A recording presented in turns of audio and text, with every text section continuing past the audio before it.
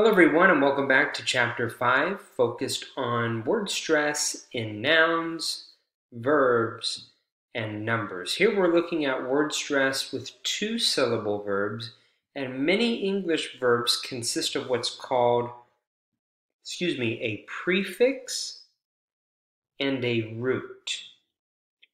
Prefix is the beginning, the first few letters in a word many common prefixes in English. And then the root is another word for suffix, right? It's the second part of the word, the word that the part of the word that comes at the very end. So we have prefix beginning, suffix or root at the very end of the word. Many English verbs begin with the prefix and a root, and listen for where that primary stress goes. Decide, Decide on the next step. Convince. Convince him to go. Refer. Refer to your notes. So if we want to come up with a generalization here, we can say in two syllable verbs, verbs that have a prefix and a root, the stress goes on the root form, not the prefix. The prefix is unstressed. You can you can hear the um, the vowel sound in the in the prefix is unstressed, right? It's reduced to a schwa. De, decide, con, convince, re, refer See the difference in how the root, the vowel sound in the syllable of the root is much stronger, longer, clear, and a little bit louder, right, in terms of intonation.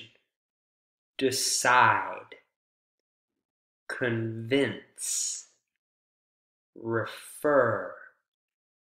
Hopefully that helps you two syllable verbs that have a prefix, the suffix or the root form carries the stress. And when we say prefix, d, con, re, dis, un, those are very common prefixes in English with verbs. So for exercise seven, what you're going to do is you're going to refer to these root forms, these suffixes here, and you're going to create two syllable verbs using these prefixes uh, in the chart here. So for example, con, convert means to change. Con, contain, contain or to keep, to hold. So come up with three more two syllable verbs, you picking any one of these root form. Well, not anyone. Some of them, like comport. I'm not familiar with that verb. You can look it up in the dictionary, of course. You know Longman. Our Longman dictionary. If you're not quite sure, this is one of our useful tools. Is comport. Yeah, comport exists, but not conport. So some words don't exist in English, and of course you can look them up just to double check and make sure, just to, you know, for good measure. But con, let's see, condict, no. Conclude, we can say conclude, double check and make sure. To conclude is to finish something, right? To decide that something is true, to conclude, is to come to a conclusion, right? A decision.